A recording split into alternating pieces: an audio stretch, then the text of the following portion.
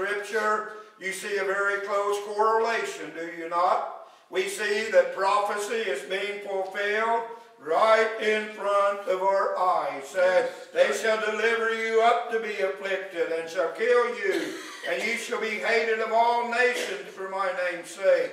Then many shall be offended, and shall betray one another, and shall hate one another. And many false prophets shall arise, and shall deceive many. And because iniquity shall abound, the love of many shall wax cold. And you know, we're seeing all of that today. And all we can look forward to as we put that new calendar on the wall and see January 2013 staring us in the face is more of scriptural prophecy being fulfilled. That's something that will not change. Uh, I tell you, the news will continue to be bad.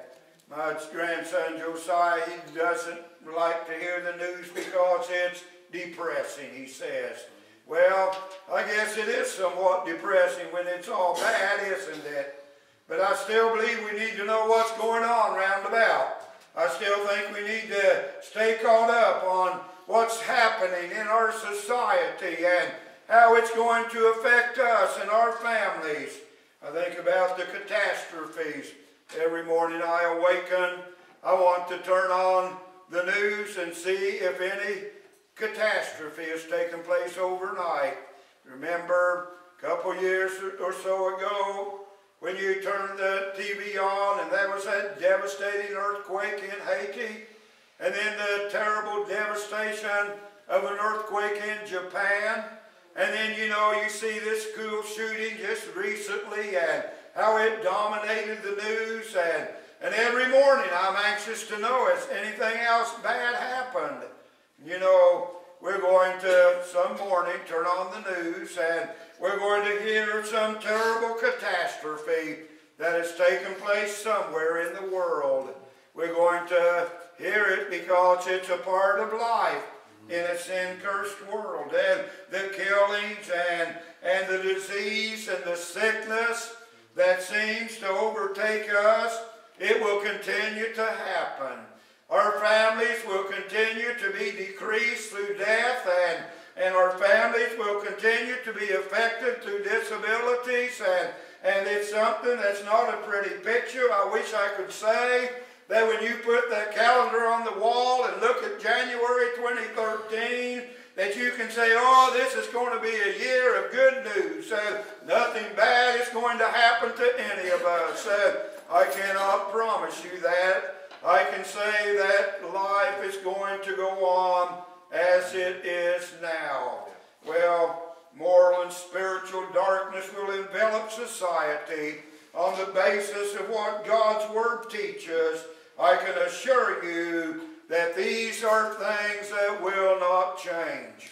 And while we see changes in our physical, and while we see changes in our families and our finances, these changes in our society will not come. There are some things that will not change. Uh, the law of nature will continue to be in full force.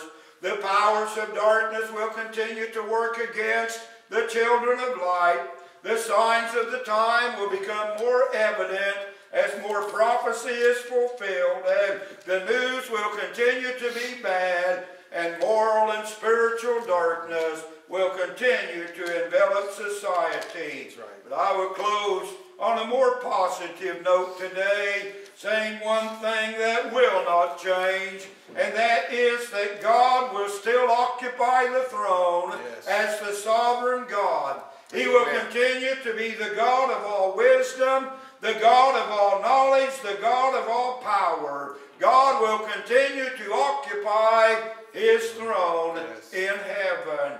He will be there as he has been there the eons of life. And as I like to think about that which will not change, I like to be reminded that God is still on the throne Amen. and he remembers his own.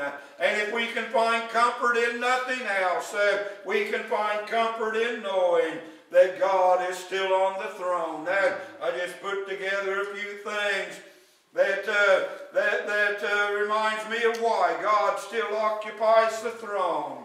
He's there because we need Him so badly in our lives. Uh, he's there for that sinner that has been so stained by sin. If you have been stained from sin, God is on the throne to cleanse from all sin Amen. and purify within. And I believe that in this coming year, because God is still on the throne, that, that there are sinners that are still going to find forgiveness of sin that lives are going to continue to be transformed through the grace and the power of God. And I've got some of my family and a lot of my friends that, that I'm praying for today. And, and my hope is that God is still on the throne yes. for that stained sinner, for that one that is seeking something that will wash away his sin. God will be on the throne for those that are seeking salvation. And God will be on the throne for those strange sheep. And you know, we're all the sheep of his pasture, and we're going to stray once in a while. But the Bible assures us that he will seek them out and bring them back into the fold. And God is still on the throne for those strange sheep for those that wander away from the fold, and for those that seem to defy the care and the, and the uh, nurture of the shepherd, those that insist on doing it their way or going their way, God's not going to let them get too far. God seeks out the strange yes. sheep uh, and he brings him back into his fold. And, and best of all, I think that we can take comfort in knowing that God will be on the throne and for the struggling saint. I don't know what struggles you have, what struggles you may have, but I'm here to tell you that one thing that will not change is that struggling saint of God will find that God is there to energize them yes. in their times of weakness. We sometimes grow weak through the battles of life or the toils of life. Uh, but I tell you, they that wait upon the Lord shall renew their strength. They shall mount up with wings as eagles. They shall run and not be weary. They shall walk and not faint. I believe for the struggling saint that needs new strength, God will be on the throne this year. He'll be there to, to, to energize. He will be there to sustain you yes. through whatever you're going through. Amen. I tell you, life can, can, can throw some curveballs, can't it? Yes. Life can be so devastating. I just think about uh, the things that happen in her life. And, and as I said, and look at my dear sister this morning, my heart goes out to those that are struggling today, struggling with the sorrow and the sadness that has invaded their life. Yes. I can tell you, God is still on the throne today. Amen. And He will sustain us and he will keep us. Yes. He's still on the throne and he will not forget his own. Uh, he will be there to strengthen us in every way. God is still on the throne this morning and that is not going to change. Uh, yes. Uh, while we see changes in other places, uh, one thing we can know is that God will not change. Uh, he said, I am the Lord God and I change not. Jesus said that he is the same yesterday, today, and forever. So I tell you, these things will not change, beloved. And I believe that we can face the new year, even though there's some things that, that we wish would change.